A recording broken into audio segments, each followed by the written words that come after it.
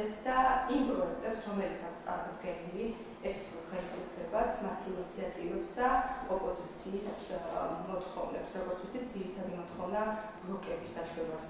ეხება 2020 წლის არჩევნებში. თქვენ იცით რომ ფაქტობრივად ჩვენი დამოუკიდებლობის 28 წლის ფასზე ჩვენ 9 საპარლამენტო არჩევნები ჩავატარეთ და ყველა ჩატარდა შერეული საარჩევნო სისტემით და ყველა არჩევნების წინ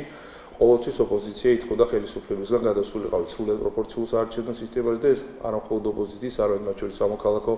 სექტორი ჩვენი პარტნიორების რეკომენდაცია იყო ყოველთვის და მხოლოდ ახლა მოგვეცა საშუალება იმისა, რომ ფაქტობრივად ისტორიული გადაწყვეტილება იქნა მიღებული 2017 წელს და ჩვენ გადავედით სრულად პროპორციულ საარჩევნო სისტემაზე 5%-იანი საარჩევნო ბარიერი და თქვენ იცით რომ ეს ვადა უკვე აპრილი იყო 2024 წლისთვის, მაგრამ იცით თქვენ რომ ასევე 20 ივნისის მოვლენებიდან გამომდინარე ხელისუფლება მიიღო ასევე პრეცედენტო გადაწყვეტილება და გადმოიწია თარიღმა და 2020 წელს ჩვენ უკვე გვექნება პროპორციული საარჩევნო სისტემა, მაგრამ ბლოკების გარეშე და გვექნება ნულოვანი ხელოვნური ბარიერის გარეშე, მაგრამ მაინც მინდა საზოგადოება შევახსენოთ, არ გულისხმობს იმას, რომ ყველა ვინც იქნება საარჩევნო ბიულეტენში ავტომატურად იქნება პარლამენტის წარმოქმნილი, რადგან ჩვენ მაინც გვაქვს 0.77%-ის ეგრეთ წოდებული ბუნებრივი საარჩევნო ბარიერი, რომელიც გულისხმობს ამორჩევათ აქტიობიდან გამომდინარე დაახლოებით 13-14000 ხმის მობილიზებას. იმისათვის, რომ თუნდაც ერთი მანდატი მიიღოს პოლიტიკურმა პარტიამ. შესაბამისად, გარდა კონსტიტუციისა, თქვენი თვითონ ასევე იცვლება საარჩევნო კოდექსში ის ცვლილებები, რომლებიც ჩვენ ეუთომ მოგცა რეკომენდაცია 27 და ასევე ის საკითხები, რომელიც მათ შორის დადგა დღის წესრიგში ოპოზიციასთან და სამოქალაქო სექტორთან. ჩართულობით იცვლება პოლიტიკური პარტიების დაფინანსების წესი და ყველა პოლიტიკური პარტია, ვინც თუნდაც ერთმანეთს მიიღებს, დამოუკიდებლად მიიღებს ასევე დაფინანსებას მის მიერ მიღებული ფებიდან გამომდინარე, რადგან ყველა პირობა უნდა შეხვნა ჩვენ იმისას, რომ პოლიტიკური პარტიები, რომლებიც 2020 2020-ში მოხდებიან პარლამენტში, ყველაფერი გააკეთო, რომ მომავალი 4 წლის განმავლობაში გამოიყენოს საპარლამენტო ტრიბუნა, დაფინანსება, უფასო პოლიტიკური დრო მედიაში, სხვა კიდე მექანიზმები იხვეწება იმისას, რომ დავეხმაროთ პარტიების გაძლიერებაში, უკვე მეરે დამოუკიდებლად შეძლო 5%-იანი საარჩევნო ბარიერის გადალახვა, რადგან როგორც გითხარით 2024-ში იქნება 5%-იანი ბარიერი. თუმცა აი ამ პროცესის გარდა პარალელურად ჩვენ ასევე განვიხილავთ ოპოზიციის მიერ წარმოქმნილ ვარიანტს, რომელიც გულისხმობს 100%-იან საარჩევნო ბარიერს და ბლოკების დაშვებას. თუმცა უნდა ითქვას, რომ ახლა მოხდით კონსტიტუციაში ჩვენ უკვე გვიწერია მართალია შეერეული საარჩევნო სისტემის ჩატარება, ანუ შეინარჩუნებული იქნას მაჟორიტარული საარჩევნო სისტემა და სწორედ ამის კომპრომისი იყო მაშინ ხელისუფლების მხრიდან, რომ ოპოზიციას ქონებოდა 3%-იანი საარჩევნო ბარიერი და ბლოკების დაშვების უფლება. თუმცა კიდევ იმ როდესაც ჩვენ საუბრობთ 0%-იან ბარიერზე, ბლოკს არანაირი დანიშნულება და აზრი აღარ აქვს, იმიტომ რომ ბლოკის ამოცანარი ერთადერთი რომ შენ სხვასთან ერთად შეძლო იმ ბარიერის გადალახვა, რომელსაც დამოუკიდებლად ვერ გადალახავ და ახლა კიდევ მეორე თუ 97% არ აქვს პოლიტიკურ პარტიას საშუალება რომ აიღოს დამოუკიდებლად ასეთ პოლიტიკურ პარტიას და პოლიტიკურ ლიდერს ალბათ ბლოკშიც არავინ არ დაუძახებს, ხო? თუ არავინ არაფერი შემატა, რატო დაუძახებენ, მაგრამ აქ თავარი ამოცანა ნაციონალური მოძრაობის, როგორც მე ვფიქრობ, არის ის, რომ მათ ერქვათ საარჩევნო ბიულეტენში არანაციონალური მოძრაობა, არამედ გაერთიანებული ოპოზიცია ის პოლიტიკური პარტიები, ოპოზიციური პარტიები დაიყენონ მხოლოდ გვერდით, ვისაც ისინი ჩანერთულიან საჭიროც და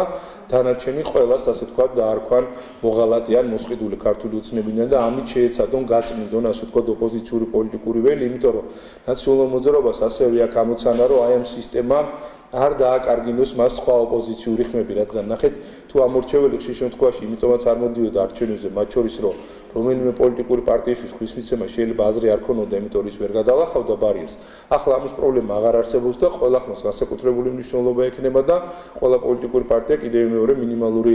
ხარდაჭერის შემთხვევაში აღმოჩნდება პარლამენტში და რა თქმა უნდა ოპოზიციური ხმები ამ მიმართულ შემთხვევაში ყველა შემთხვევაში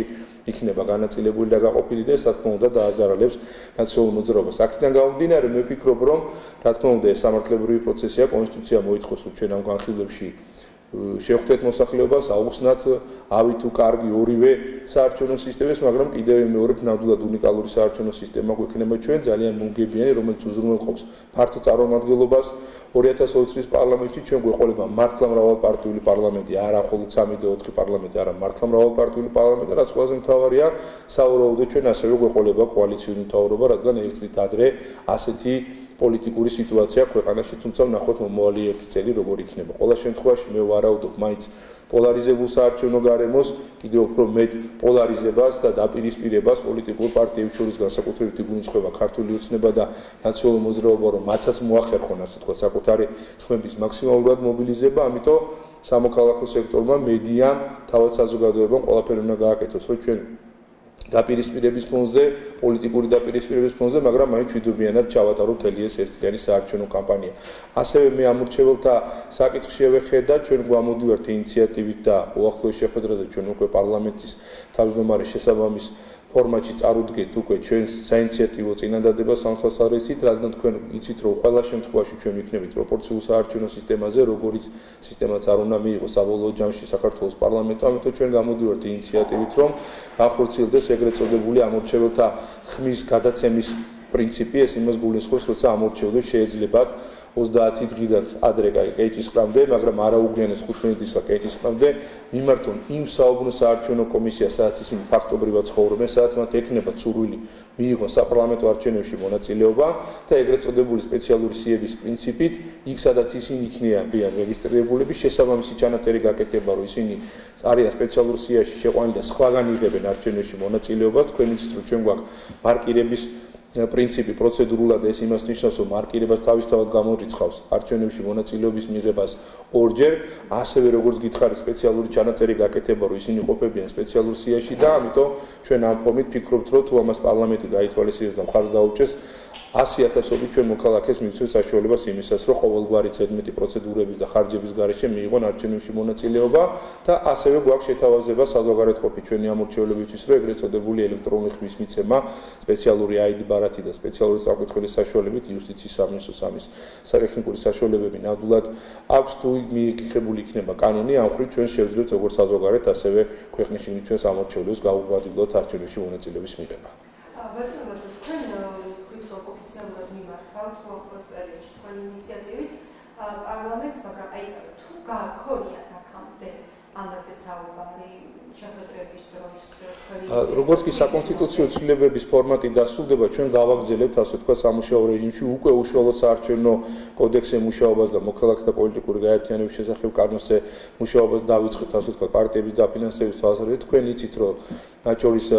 პარლამენტის წევრებმა დააყენეს არჩევნებში მონაწილეობის სავალდებულობაზე საკითხი და ბევრი პოლიტიკური ძალა საუბრობს ამ თემაზე, მაგრამ ჩვენ ხარს არ უჭერთ ამ ინიციატივას, იმიტომ რომ კიდევ მეორე ძალიან ბევრი პრობლემა აქვს. ჩვენ ამორჩეველთა სიას, არის ტექნიკური საკითხები, რის გამოც ამორჩევლები ვერ ახერხებენ არჩევნებში მონაწილეობის მიღებას და ამ დროს ჩვენს ადამიანები დავავალდებულოთ, დავაკისოთ გარკვეული ჯარიმები, სანქციები, ძალიან რთული იქნება ამის ადმინისტრირება, ჯარიმების ამოღება და ასე შემდეგ, ამიტომ ამის საპასუხო ჩავაზო ჩვენ სწორედ ხელისუფლებასაც, ოპოზიციასაც, პარლამენტს კიდევ მეორე მიმართოთ ოფიციალურად აი ამ კონკრეტული საკანონმდებლო ჩანაწერით, რომ მოხდეს ამორჩეულთა ხმის გადატანის პრინციპის დანერგვა. ამ არჩევნებზე, რომელიც ყველა ამორჩეულს, ვისაც აქვს სურვილი მიიღოს არჩევნებში მონაწილეობა, გაუადვილებს გაუმარტივებს არჩევნებში მონაწილეობის მიღებას ყოველგვარი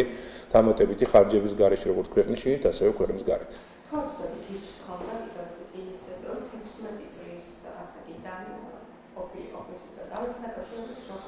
იცით როგორ არის? ბევრ ქვეყანაში არა მხოლოდ ინიციატივის დონეზე, არამედ უკვე კანონმდებლობის დონეზეც არის გაწერილი და 16 წლის ახალგაზრდებს უკვე აქვთ არჩევნებში მონაწილეობის მუხლება, თუმცა აქ საუბარი არის მხოლოდ ადგილობრივი თვითმმართველობის არჩევნებზე, საპარლამენტო და საპრეზიდენტო დონეზე არც ერთ ქვეყანაში ამორჩეულთა ასაკი ასეთი დაბალი არ არის, ამიტომ თუ ჩვენ ამ ინიციატივაზე ვიფიქრეთ, მაგალითად 2021 წლის როცა ჩვენ გვექნება ადგილობრივი თვითმმართველობის არჩევნები, ამაზე ფიქრი ბუნებრივია, შესაძლებელია, იმიტომ რომ არა მხოლოდ ჩვენ ქვეყანაში, ბევრ ქვეყანაში არსებობს ახალგაზრდების არჩევნებში არ მონაწილეობის მიღების ბევრი მიზეზი და სამწუხაროდ იცით რომ მათ შორის ჩვენ ქვეყანაში საშუალო ასაკი ძალიან მაღალია მოსული ამორჩევლის და ახალგაზრდები მიხედავთ იმისა რომ ძალიან აქტიურები არიან